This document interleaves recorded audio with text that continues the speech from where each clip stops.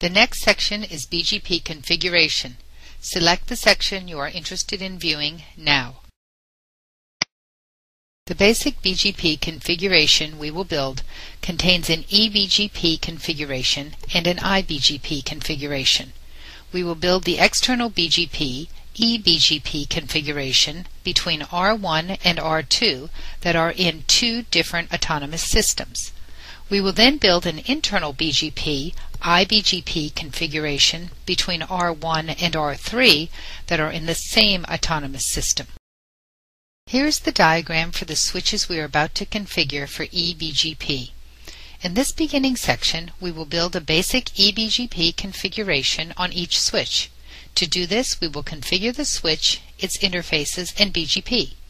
We will name each switch R1 and R2 create a common VLAN, VISP, create a loopback VLAN that only each switch can access, create BGP router IDs for each switch, and identify the other switch as the BGP neighbor. Let's get started by configuring switch R1 for eBGP operation. Click on R1 to bring up the console window. Each switch needs basic configuration. Let's name the switch first to keep things straight. Let's delete the default VLAN ports. Now we'll create the VLANs for router 1. First, VISP, as eBGP normally connects to an ISP, and R1 underscore VLAN underscore LB, the VLAN on the loopback interface and will assign the IP addresses to each VLAN as shown in the configuration diagram.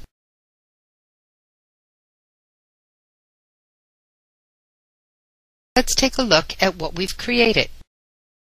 You can see VISP and R1 underscore VLAN LB with the correct IP addresses assigned. Now let's add ports to the VLANs we just created.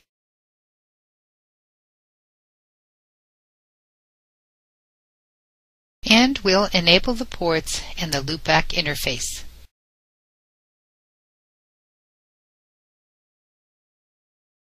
Let's now assign the correct autonomous system and router ID numbers for BGP. Each switch must be assigned the correct autonomous system number for its location. The router ID is the access point to the switch that is a direct link from its neighbor's switch. Now take a look at the BGP configuration you can see the router ID and the autonomous system number assigned to R1. Now we'll create a neighbor relationship. Create a BGP neighbor relationship with the router to which you wish to share and pass routing information. The router must be directly connected on the same network. Let's see who are our neighbors. Our current BGP neighbor is an external disabled peer 10.10.20.2 in AS200. Notice that we do not have any BGP state yet. Now we'll start the IP forwarding and BGP processes before configuring the next switch. Now you'll practice by configuring the second switch, R2, for eBGP operation. Click on R2 to bring up the console window.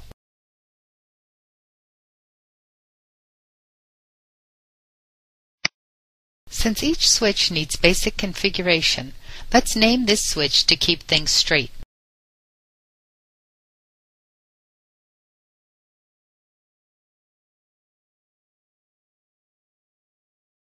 Now delete the default VLAN ports.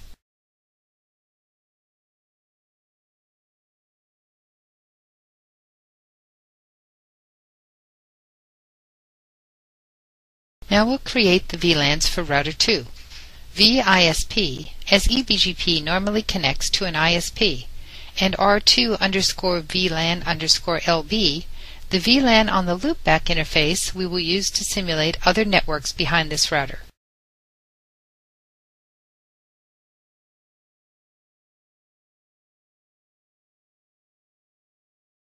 and now assign the IP addresses to each VLAN as shown in the configuration diagram.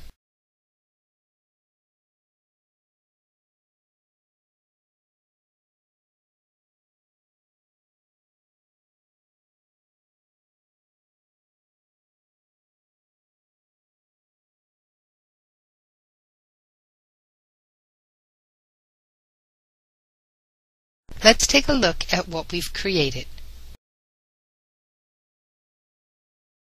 You can see VISP and R2 underscore VLAN underscore LB with the correct IP addresses assigned, but no ports yet. Now let's add ports to the VLANs we just created.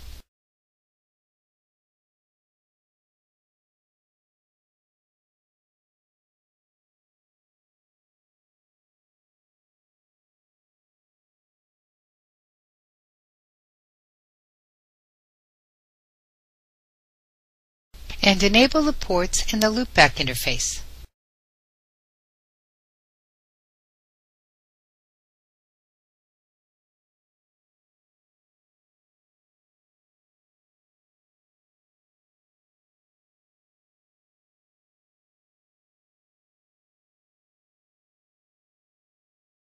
Now let's assign the correct autonomous system and router ID numbers for BGP.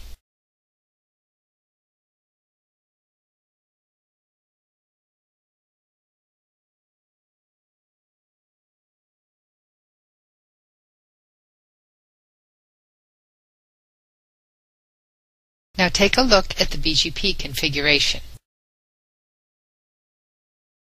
You can see the correct autonomous system number and router ID assigned for this switch.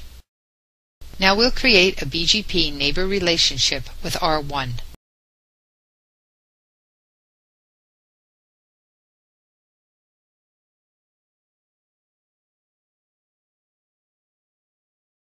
Let's see who are our neighbors.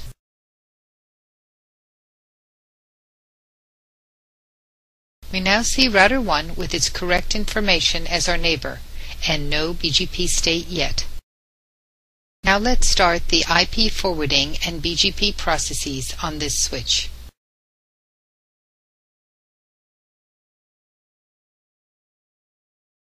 Now we'll type the command to look at the existing routes on each switch. First on R1. On R1 we see that it only has its own routes. Now you type the command to see the existing routes on R2.